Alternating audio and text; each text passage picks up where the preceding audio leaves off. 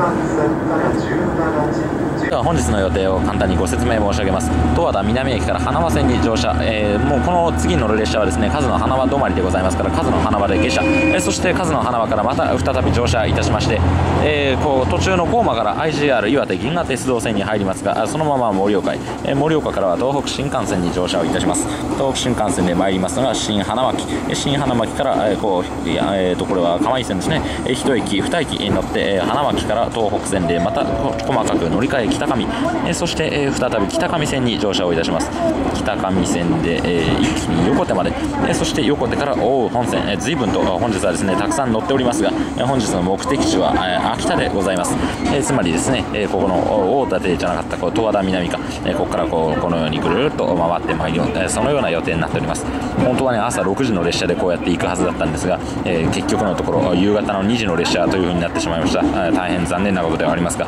私が悪いございますのでこればっかりは仕方がございません。では本日もどうぞよろしくお願いいたします、はい、東北新幹線で来る駅盛岡に到着でございます、えもうですね私はこんなああったかそうな格好をしているわけでございますが、え周りを見渡せばみんなもう薄着、えもしくはですねもう3割ほどは半袖に衣替えをしておりまして私だけでございます。このようなね真冬並みの格好。あさらに、えこれはですねもう北海道の中にも対応できるように中にもいろいろと着込んでおりますから、えもう暑いの何度って言ったらですねそれはもう全く、え言いようもないほどでございます。ですからね、本当にいつ何時私も周りの人に警察に通報されるやわからないとそのような状況でございましてまたここでね一人して突拍子もないことを周りの大勢の人の目がいるところでやっておりますからえそれもまたとんでもないことですからですねもうなるべくこんな方はさっさとやめてえどこかそこら辺にですね人目のつかないところに逃げ込みたいものでございます。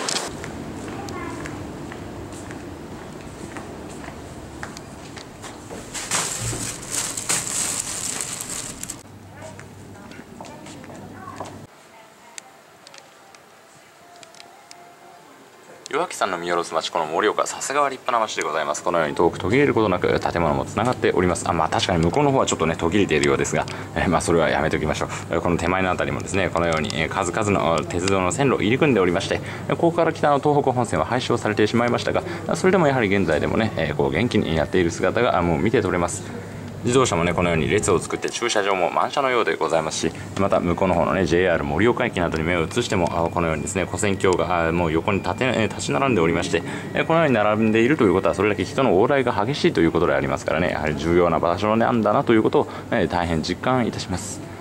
遠く向こうの方にはね山がそびえております。このように山に囲まれた盛岡市でございますからきっとね、え、これはもう何かこう夏ですとか冬ですとかそういう時期になれば盆地の特有のその気候夏は暑く冬は寒いというねまたその苦労に悩まされることでございましょう。雪や雨が少ないのはねそれだけはまあ良かったかなと思うところであります。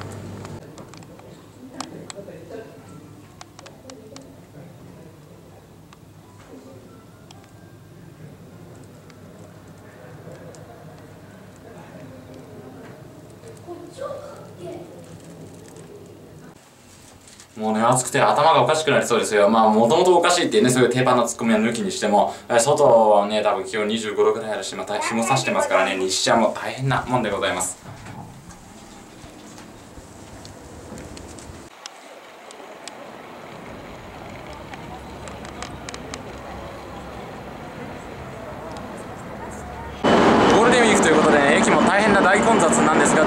混雑している様子が全く見えないですね。なんかすごい空いてるようにしか見えないですけど。でさっきはね改札通る時なんて歩くのも大変だったんですよ。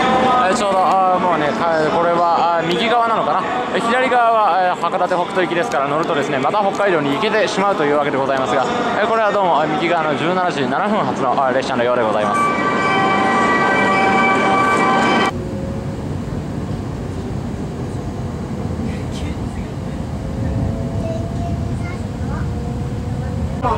東北新幹線。This is a Hayabusa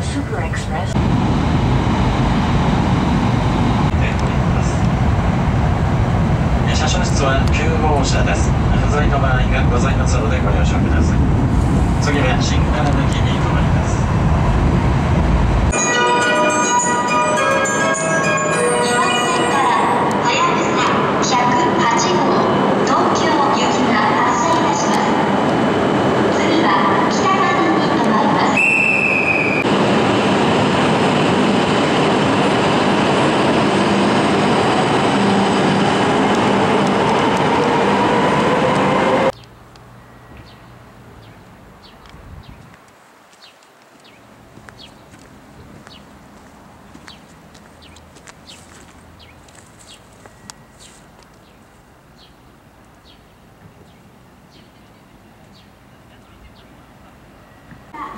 新花巻駅設置物語。市民誰しもが花巻に新駅ができるものと信じ込んでいたところ昭和46年1971年10月花巻に停車駅にならずの発表。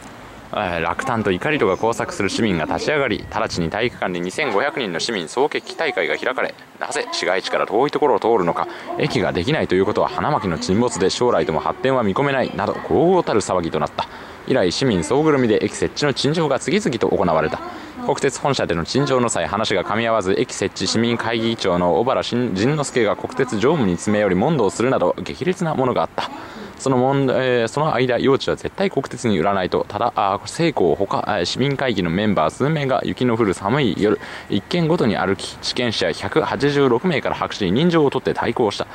ほとほと困り果てた国鉄型は将来駅が設置できるよう工事設計上に配慮配慮する。えー、胸の金原工事局長、県知事、えー、それからなんだこれ八重樫市長とのいわゆる三者協定が締結された、えー、こういうふうにですねつまり、え、昔この新花巻駅というのはなかった駅でございますが、え、ところがですね新花巻、え、つまり花巻駅に新幹線通っておりませんね、え、なので新花巻とかこういうところ今新幹線は止まらないのかということで市民はみんなしてですね怒りに怒ったわけでございます。で、え、なんとか作れ作れ作れ作れ作れと花巻をお前見殺しにする気かみたいなことをですね、えー、散々と国鉄に陳情をした結果じゃあ国鉄は分かりました。じゃあいつか作るんでその準備だけしておきますよ。みたいなことを言ったわけでございます。そしてこの新花巻駅はですねもう解説を出てきてしまったんですがさっきの映像をちょっと見返していただくと分かるんですが通過線というものが設置されておりません。普通新幹線というのはですね、まあ、必ずではないんですが大体の駅にこう真ん中に速い速達列車が通過するためのそういう専用線が用意されているんですがこの新花巻駅はホームがですねただ普通に2本引いてある線路の脇に置いてあるだけ。普通のねただのホームでございます。それはこのような事情からでございましてつまりただのですね特に何もなかったところに新たに新幹線のこう、え道を通したわけだということになります。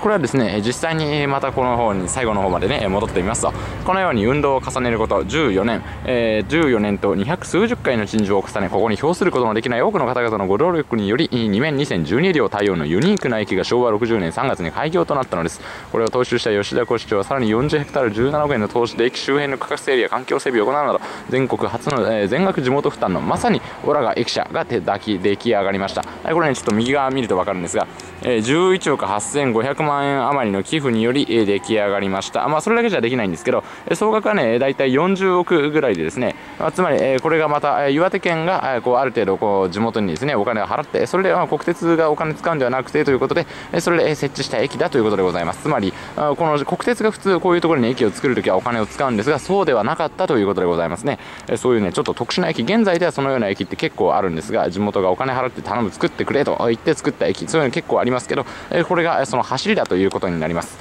えそして、えここに、え市民が力を合わせてこの大大事業を成し遂げたことを末永く後世に伝えますますの野営を願って新駅開業5周年を記念しこの日を建立する、えそういうふうに書いてあるわけですね。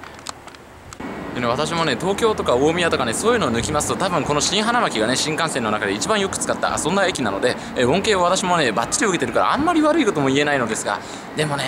個人的にはだってそこに北上駅あるんだからそれ使えばいいじゃんって思うんですけどやっぱそういうんじゃダメなんですかね。すいません私もね地方の事情はあまりよくわからないというのが正直なところでございますから、え失礼なことを言っていたらねそれは申し訳ないんですが国鉄赤字だったんだからまあ最終的にはねお金を自分でおっとすいません、え、最終的にはねお金を自分で出したんだからまあいいとは思うんですけど、え、作れ作れ作れとあまり言ってですね国鉄を困らせるというのも、え、ちょっとねそれは、え大人げないんじゃないかなというような気も、ね私はちょっと思ってしまいます。まあ、そうは言ってもね、最初は確かにだだこで始まったかもしれない、この新花巻駅の解説ですが、えそうは言ってもね、現在ではやっぱりこう地元の方もね、本日大勢車で乗り付けておりますし、えまたあそうでなくてもですね、ここから乗り入れる釜石線のその活性化にも大変役に立っております。JR 東日本もね、え現在じゃあどうぞ新花巻駅廃止するかどうかご自分で考えてくださいと言われても多分廃止しないでしょう。それぐらいね、ちゃんと新幹線が来るときには賑わってる駅ですしね、まあ、だからね、現在このようにちゃんと役割を発揮できているんですから、私がとやかくね、偉そうにブツブツ喋るよりも、えまあ、なんだかんだ言って作ってよかったんだなと、そういうことになります。今後ともね、新幹線、新花巻駅に来た時はね、あやっぱり、いつ見てもあいい駅だ、やっぱりこれ作ってよかったなと、あこうね、あいいなと思いながらね、やっぱり通る。それにね、越したことはないでしょう。昔だらっこだったんだとかね、そんなことで、まあ、本当にだらっこだったのかどうかっていうのちょっと私にもわからないので、それはもし間違っていたことを言ったら申し訳ないんですが、まあ、ともかく、新花巻駅は現在も役に立っているというわけでございます。そしてね、私もいよいよ乗り換え、花巻駅へ向かうわけでございますね。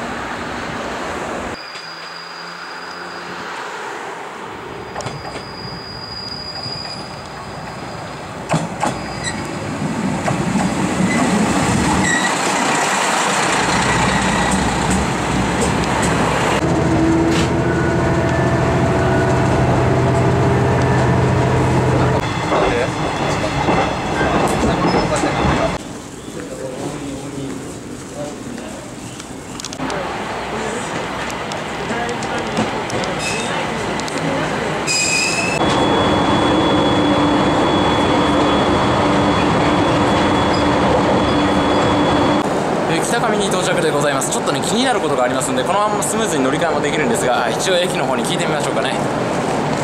すみませんあの観光案内みたいなこと聞いて申し訳ないですけど桜ってまだ咲いてます？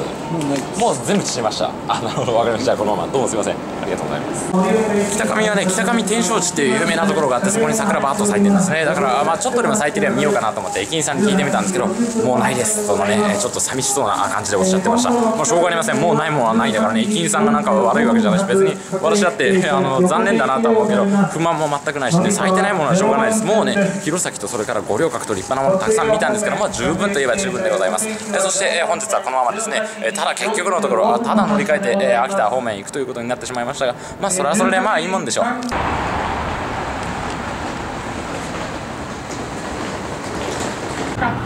柳原譲り子富士見の順に止まります。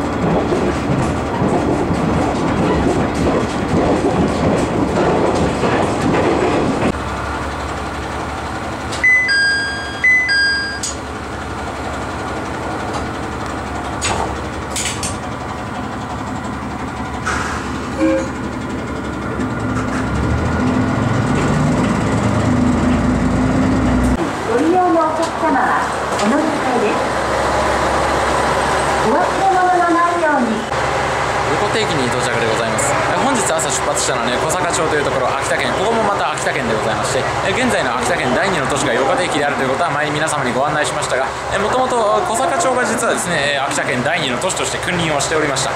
今日ですね小坂から、えーと十和田南の駅まで私はねヒッチハイクで乗せてくださった軽トラック運転している農家のおじさんですね。でその方にお話聞いたんですけど昔のね鉱山やってる頃のその小坂といえば本当に輝いていてえ何でもある本当に素晴らしいところだったというふうにおっしゃってましたね。そういう時のね素晴らしい小坂私も訪れてみたかったもんです、まあ、全般的にね申し訳ないけどやはり地方は衰退しているはずですから現在のこの横手よりもきっともっとさらにですねいろいろと何でもあるようなところだったんではないでしょうか。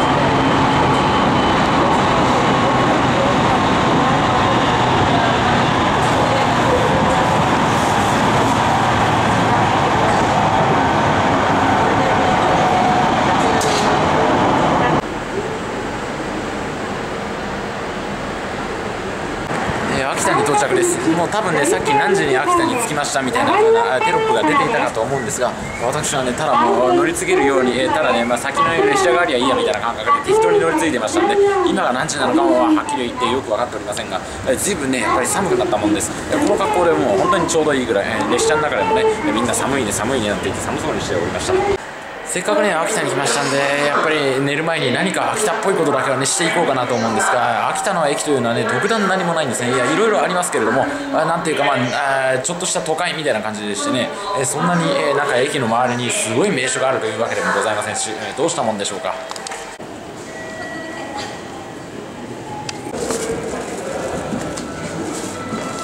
鉄道マニアにとってのね JR っていうのはもう天皇陛下みたいなもんですからあこういうふうにね JR おすすめのこう観光マップ観光じゃないやこれはなんだ、えー、うどんマップかあったんですけどこれはもう宮内庁御用達と同じような効果があるわけですね。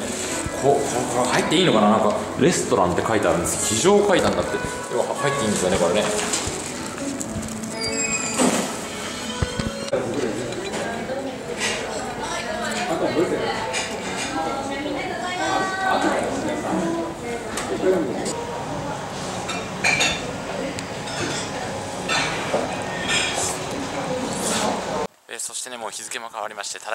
0時45分、本日は5月の4日でございます。が、一応今回としてね、ご紹介をさせていただきます。え秋田駅にやってまいりました。このね、深夜にもかかわらず、ご覧をいただきます。と、駅員さんがホーム上をぞろぞろ歩いていらっしゃるのが映ってます。ね。これは一体どういうことなんでしょうか。普通こんな時間にもう旅客列車はこの時間やってまいりませんが。